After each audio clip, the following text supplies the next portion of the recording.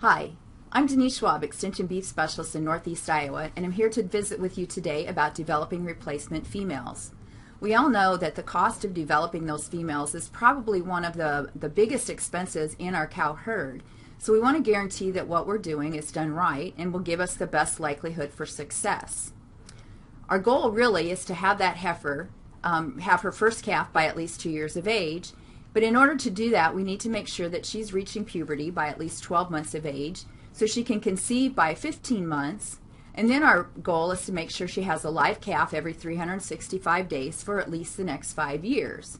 So we need to think about how long is it going to take for her to recuperate after that, that parturition. And, and we need to be, keep her in the herd for at least five years to recoup our investment. We all know that there's lots of factors that affect puberty. If you look at this very, very busy slide here, you see that there's lots of components that affect that hormonal system. But early work research by Wiltbank and also with, by Lemenager in the 80s really narrowed this whole endocrine system down to three factors that affect puberty. Age of the animal, the growth coming up to that puberty, and her nutritional plane of, or, or plane of nutrition. Some of this early work done in the 70s was to look at what is the minimum level of growth we need on that animal. And they had a, a comparison where they they had uh, developing heifers that were gaining either a half a pound, one pound, or a pound and a half uh, per day. And what they saw is those heifers that gained a pound and a half a day reached estrus at a younger age and a heavier weight than either those heifers that were developed at a pound a day gain or a half a pound a day gain.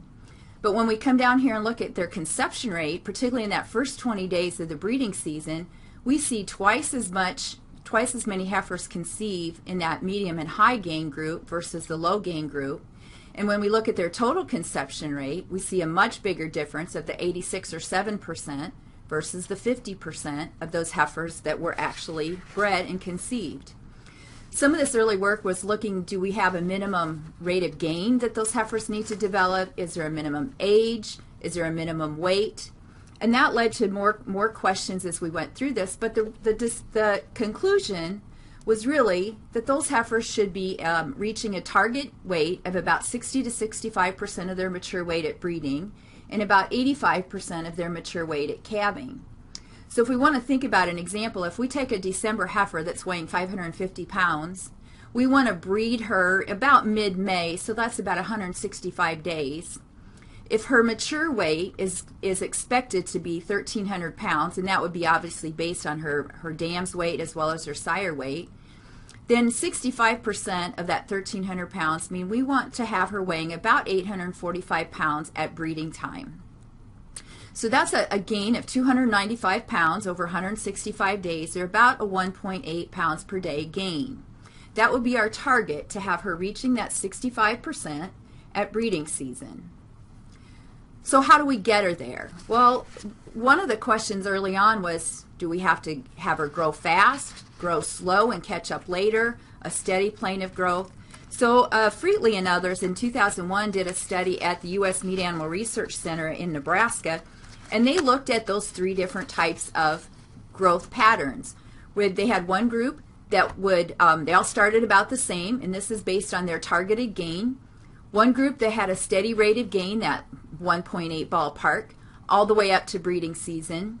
Another group that they put in a dry lot and fed um, additional energy to have them grow fast, reach close to their uh, 65% of weight, and then grow slowly up until breeding season and another group that then grew very slowly, say using a, a cornstalk backgrounding type of a system, and then had a lot of growth at the end of the season and tried to compare how those animals did once they reached the, the breeding season.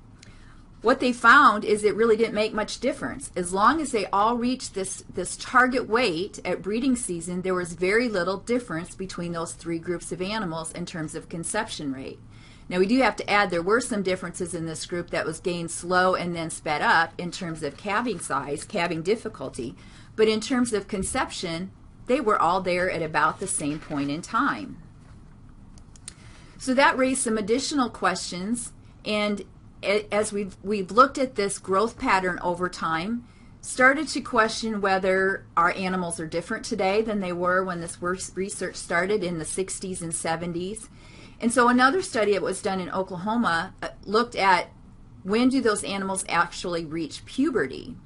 And so this group of heifers were fed to reach different end weights, different targeted, and these are the percentage of their mature weight, to see when they actually started to cycle. And they were determined by that um, in terms of, of the, the hormone levels in their blood, as well as then gone on and, and looked at calving or uh, conception rates.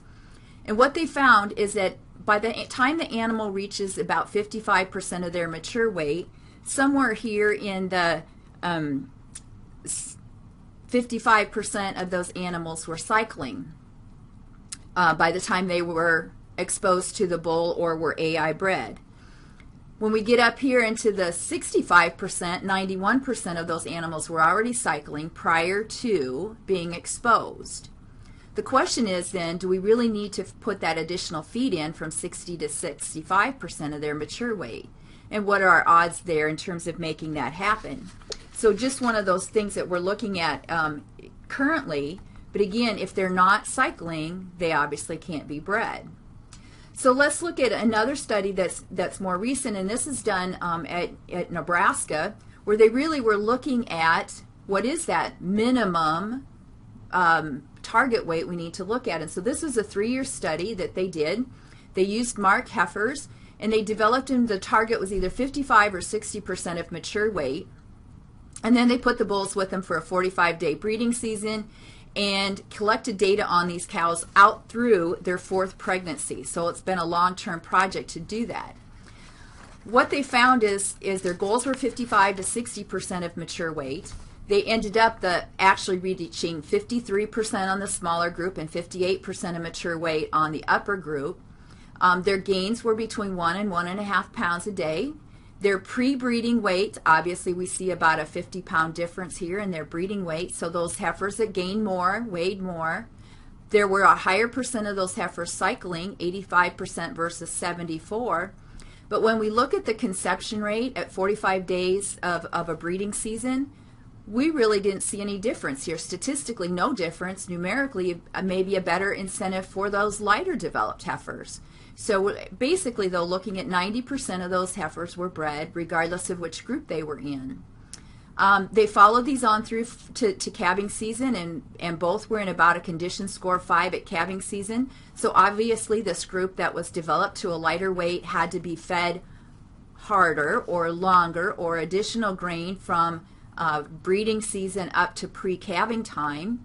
But we saw no difference in calf weight. And as you follow these calf heifers through their second pregnancy, third pregnancy, and fourth pregnancy, we really saw no difference between those heifers. So that leads us to wonder, do we need to develop them to that heavier weight? Um, what they found here is that by, by developing them to only 55% of their mature weight, it did decrease the costs. Obviously, our feed costs were less. We only fed them um, uh, to 55% or actually 53% of their weight. So it cost $22 a head less. No difference in pregnancy rate, no difference in calf weight, uh, a slightly decreased mature weight, although not much, and did not really have any impact on pregnancy rates, and required, but it did require more feed to go from that pre breeding 53% of their mature weight up to that final target still of 85% of mature weight at calving season. So we didn't feed as much feed early, but we did have to feed that much additional feed later to get them caught up. So our target is 65% of mature weight. Um, that may be changing, so keep your eyes and ears open as time goes by and more research comes through. We may look at that lighter weight. However, just remember that there's not much margin of error in that either um, related to our wet, muddy springs in Iowa and, and some of our challenges with putting condition on heifers in the wintertime. But we still had a targeted weight of 85% mature weight at, at calving season and a target of, of 5 to 6 in terms of body condition score at calving season. So we have them in good shape going into calving.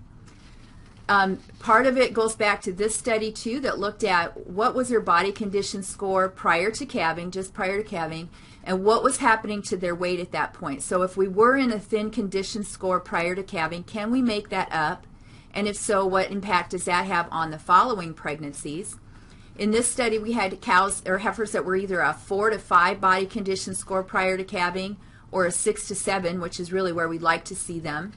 And then it looked at three different ration planes. One is where they're losing weight, so say a very, very severe um, muddy spring that's cold and wet and, and causing them to lose weight, where they're increasing weight but less than a body condition score a month, so, so a, a very slow increase in weight, or a, more than a body condition score increase in weight. Can we bring them up to, to our, our ideal, um, and how fast can we do it? What they saw is that we can increase the pregnancy conception rate of following pregnancy by having an incline, inclining nutrition level going into the calving season. However, it's much lower than those cows that were already in a body condition score six or seven going into calving season, where we see um, 85 to 90 percent rebreeding rates. So, kind of the moral of this story is if heifers are thin going into calving season, we can still improve our conception rate by increasing the nutrition in that last month or so. We won't get them up to the level we'd like at a six or seven, but we can at least improve that growth as we move forward. So, in summary, our target is to be have those heifers at a 65% of their mature weight going into breeding season.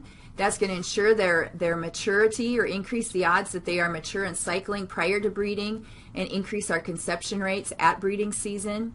And then we want to continue to grow those heifers at, at, at a level that will achieve 85% of their mature weight by calving season.